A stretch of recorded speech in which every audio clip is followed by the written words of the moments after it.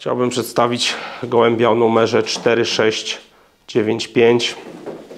Jest to gołąbek barwy pstrej.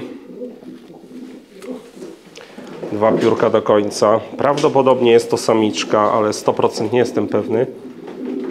Gołąbek ten jest podwójnym wnukiem Svena. Ojciec tego gołębia jest to samiec o numerze 2828. Jest to syn Svena z połączenia na 5519 Blue Speed. Samczyk ten już wydał gołębia czołowego na derby Superstar.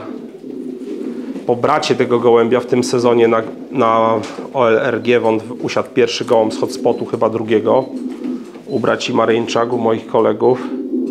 Matką natomiast tego samca, albo samiczki, bo nie jestem przekonany, jest samica o numerze 8489. Jest to córka Svena, która między innymi w sezonie 2022 wydała gołębia o imieniu Kaskader, który zajął czwartą pozycję mm, z lotu Super Cup na Krakusie 625 km.